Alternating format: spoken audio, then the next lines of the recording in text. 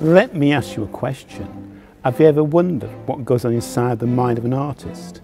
How would you unbox it, make it accessible? But can we really get inside the mind of another, or is it just the reflection of ours? Here at Statens Museum for Kunst in Copenhagen, we're going to look at the exhibition Unboxing Goodiepal, objects from his imagination to stimulate ours. I am William Harvey Hayes and this is Art Talks. My name is William Harvey Hayes and I have always had an interest in art.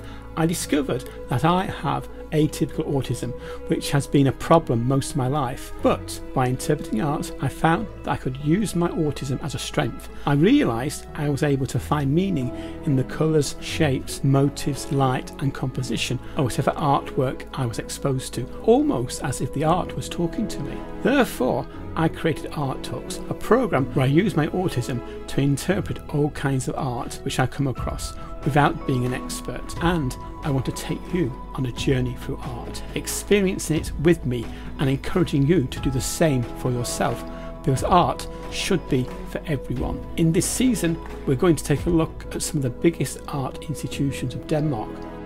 Welcome to Art Talks.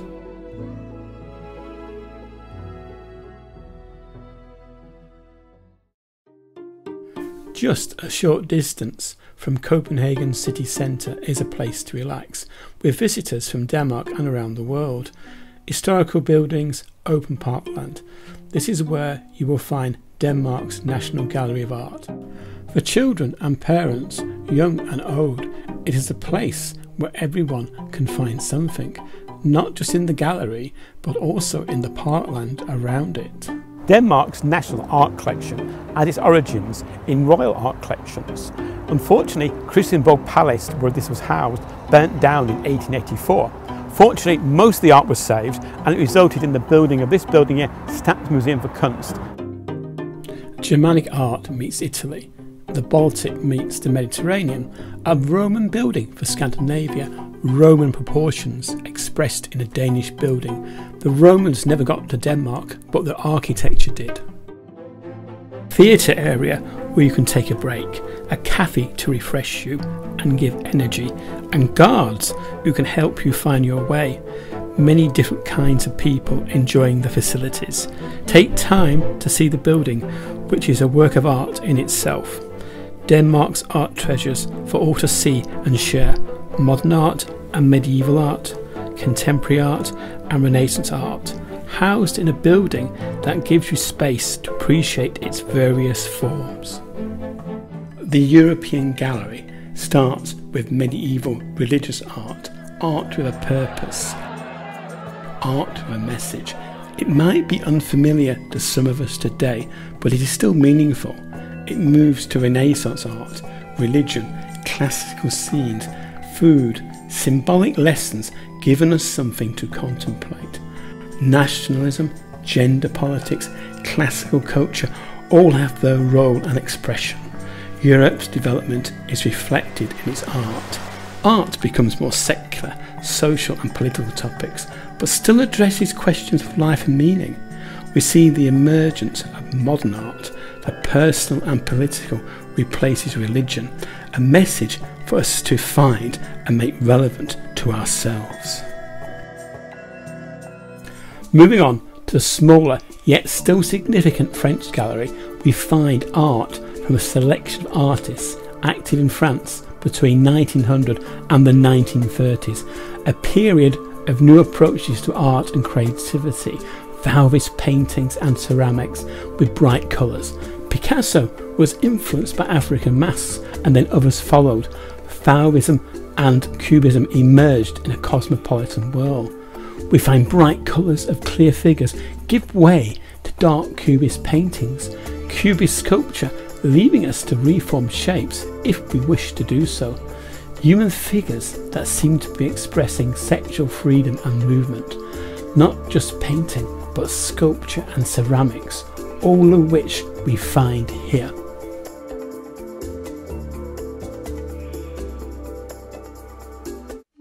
Danish and Nordic art. Art for the aristocracy, royalty, and landed gentry. those who could afford it, and had a wall or house big enough to display it. Art showing status and place in society. Paintings displaying their land, the source of their wealth, and clothing showing rank by painters who had been employed to immortalise their patrons. Art of the few displayed for the few, showing power, wealth, and pride, being expressed through paintings and sculptures, now open for the once excluded. Strangely enough, those who might have financed it. The Golden Age, with a tour of Italy, a new national consciousness and identity, small paintings, more affordable, and will fit in a flat or middle class house. Art can still look back, but mostly shows Danish daily life. Art becomes more realistic, showing the reality of industrialisation and urban life. Skagen paintings feature fisher folk and domestic life, everyday life, and the European view of the exotic. Nationalism, Darwinism, secularism, but still a place for God.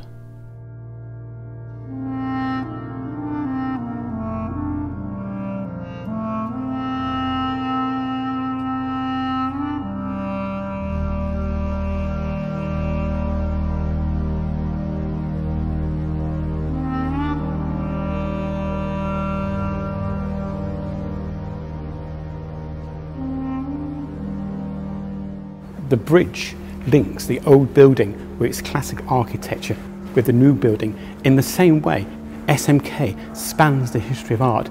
You can cross over time with the diverse collections found at SMK.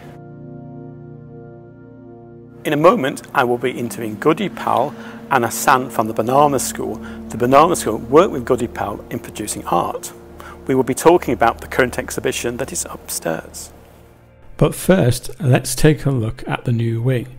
Designed by Anna Maria Indrio, a modernist building with high white walls, clear bright light, and expansive spaces, giving a sense of freedom and openness.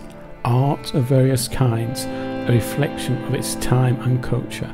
Themes like feminism and social progress.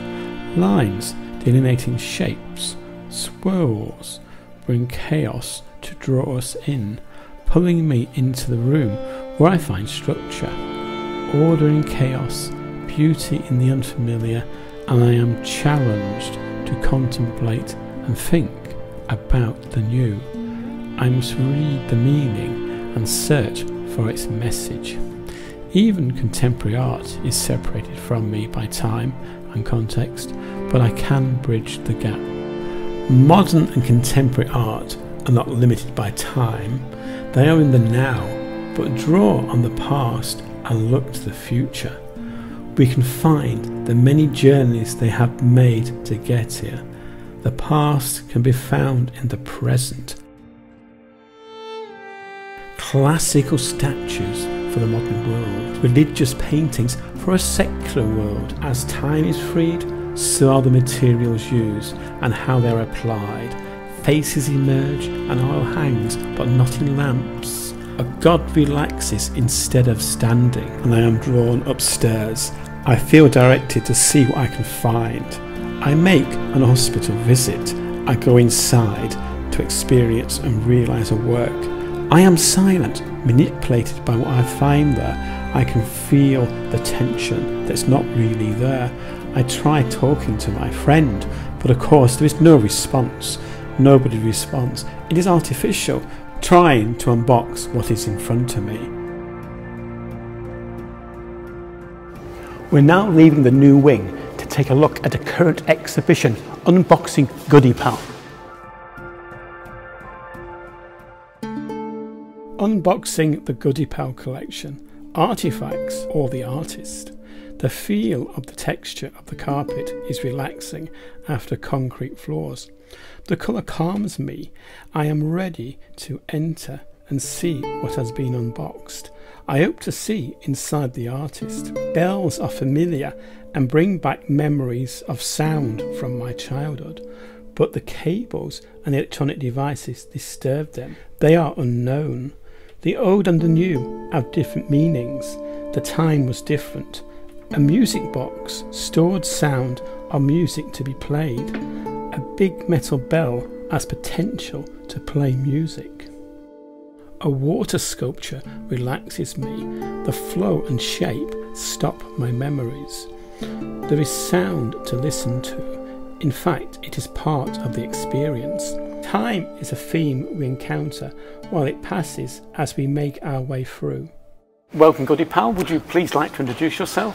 My name is Paul Christian Bjørn and we are at the National Gallery because we have an exhibition called Unboxing the Goodiepal Collection. Because what I usually is nowadays is I'm a collector of um, artworks that nobody else will take care of. And now we have unboxed it here at the National Gallery. So I'm a collector of artworks that nobody else takes care of, but I'm also the janitor here at the museum at the moment. I work as not as a paid janitor, but I'm the janitor because nobody else can unpack these works and then I unpack them and unfold them. So it's kind of a janitor work, I would say. And this is Hassan. And Hassan, would you like to say a few yeah. things about yourself? I am just a migrants come here and then I, um, I meet with them, these guys. So I like their work, they are creative. So then I also start to do something with with them, so also join their team. Oh, thank you very much. So welcome both of you. Now, when I look in your, in your exhibition, I see it's got lots of objects, but it's about sound. So how do the objects relate to sound? Yeah, that's a good question. Uh, the museum wanted a sound art uh, exhibition uh, because they think that that is what I'm collecting. But I've collected everything, uh, which I think is somehow performative. So some of it is uh, work that uh, that you unfold and it makes a sound. Some of it is something that, in my in my mind, relates to sound. Maybe it's a score, or it's a it's a drawing, or it's a, even a painting that I somehow think it relates to sound in that respect. But um, I'm a collector of, of a lot of things, which is. Um, which uh, makes sense to me, but for a lot of people might not make. Uh, might, might, they might not see the, the link, but we try to make the link here. But it is a, I would say, everything in, in the exhibition is uh, is uh, either made to perform sound, or made to uh, uh, depict sound, or made to enroll sound, or record sound, or document sound, or or in uh, uh, yeah so basically every uh, all the objects in there somehow deals with the documentation of sound or what you could call scores for performing sound which then could be documented later yeah. that's interesting because in the first room I saw lots of bells like for bell ringing so, so it's, it's, it's curious to me because I always think of bell ringing as being a very British thing. Where, where did you encounter bell ringing? Uh, that's the British thing uh, indeed, and uh, that came from uh, from my fascination with uh, with mathematics, and also I was uh, working for a little while. I tried to um, what do you call it? In, a, in a bell foundry. I tried to make bells myself. Okay. So that's why it started. But yeah, it. I mean, change ringing is a very British thing. it hardly it's it's pretty unknown in in this parts of the world. I don't know about Pakistan. Do you have this kind of uh, bell ringing yeah, where? they have something like that, but um, it's a little, uh, it's different a little bit here. So it's uh, many things different here. He's doing something new. So um, I think uh, some also something old, something you know, it's mix mixture here. I move from one room to another. I leave behind ideas and experiences. Artifacts have been unboxed, and they have unboxed my memories. The lines I see make me think of circuit boards, wiring, connections in my brain, nodes and interconnections carry impulses, create sensations, actions, and reactions. An internal map of meaning are ways of interpretation and realization of reality. Music, sounds stored in LPs.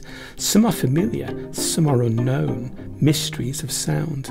Computer games, old technology, and more albums waiting to be heard. I can read the sleeves, look at the pictures, but the sound remains locked away. I see one that I know and hear it in my memory as my circuits are activated. One of the rooms has a, what looks like a big circuit diagram. Yeah. And when I look at that, I've got a duality going on in my mind. It's two things I'm flashing between. One is that it's kind of a circuit board, and the other is that it's my brain, the wiring in my brain, and the nodes like synapses, yeah. because our brains are actually electrochemical organs. So that kind of kind of blurs this line between mechanical music and uh, any kind of music. It? Oh, for sure, yeah, yeah. And that's interesting also because uh, that room was meant to be. Um, uh, a lot of people, when they talk about uh, intelligence, uh, they always say that uh, that a network that is complex Yeah. enough will have intelligence by itself, which is an interesting question because if, if that is the case, what about the water supply network? That's more advanced than a lot of uh, well, that's, a lot of people live with water, but not with uh, computers. So, for example, uh, people like to say the internet will be intelligent at some point. The water supply network shouldn't be intelligent. So, not intelligence is also about what you're willing to accept as intelligent. Because most people, when I say these kind of things, would say water supply network is not intelligent. Neither is the electricity network, and so on. So, um, there's a lot of networks, uh, traffic lights, things like that. But we don't apply any intelligence to these. But if uh, complexity in itself um, is so advanced that it creates, it creates intelligence, we have to accept that there's a million intelligences around us because everything uh, everything that is connected somehow will then be able to uh, to create. The final space I find myself in as a red device that vibrates and follows a cycle is made of wood but controlled by electronic wiring, its brain and vibration, its sound. I wait in expectation to see what will happen. Bell like that unites me with the first space. The plates ring out, old sound in a new form. The machine's voice stops, gradually comes to rest. The vibrations dissipate and the sound floats away. Not waiting for the next cycle, I let it sleep and turn to the large cylindrical cloth. Entering, I am surrounded and find the pattern beautiful, copper in material, forming patterns that wave through the air. I feel engulfed. The patterns are like sound waves. I turn to follow them, circling round to appreciate the whole. It is soothing, but incomplete. It is a musical instrument, and the copper reacts to a player wearing copper gloves. Electricity. Electromagnetic waves make sound waves. I must return to hear them. The shower curtain, yeah, Well, because it's not a shower curtain, it's an instrument. it's an instrument, yeah. And I could, looking at it closer, I could see there's copper inside it. It's actually quite beautiful in itself. Yeah, yeah, it's a yeah, it's a uh, yeah, it's um, what do you call it? Vävet? What is the uh, the English uh, threaded? What do you call it? Uh, wo- woven? Woven, Wo- yes, yeah, yeah, it's a yeah, it's a woven uh, piece by wool and copper, and uh, it's also uh, um, a write out of um, the Väverfugl. The I don't know what the the word the name for that bird is in English, but it's a bird that wove as well. Oh, yeah, yeah. Uh, and it's uh, the song of that one. There's there's the, it's a diagram of that that uh, the song from that from that, and it's a it's a very interesting piece because you're both. It's a it's also it's a it's a cable you could say. It can transmit from. I Yeah. mean, there's connection all the way through. So Yeah. it's a but you can also be inside the cable, and you can also like um, you can also so you basically create a new electri- electric uh, field which uh, which shields you from other electric fields. But you can also uh, it, so it can also work. A, it also works a bit as a receiver for electric signals, but it also sends out an electric signal if you amplify it or if you put electricity into it. So uh, Marie-Louise Anderson, who, who made that piece, uh, wanted to do it as an experiment, experiment, and basically experiment with it. And she hadn't really figured out exactly what it is, but it's a beautiful piece um, of of uh, of uh, fabric I, for now at least. And she plays it every day, and she f- tries to figure out what it can do, and it can do quite a lot. So I I'll would say. try and come here when she's playing it. Uh, I think she probably later on today, actually, to be honest with you. But let's see, let's see. Well, I'd just like to thank both of you. I, I, I would like to shake your hands, but of course Yeah. we, we can't do. So we, we do some kind of kind of So signal. people like- Many Yeah. signals to send, but um, yeah, there's many signals to send. But uh, we do a lot this this signal. That's a good signal. Depends who it is. But Yeah. not you, not you two. That That's, sounds pretty good. it's been a pleasure talking with you. Pleasure talking to you as well. Yeah.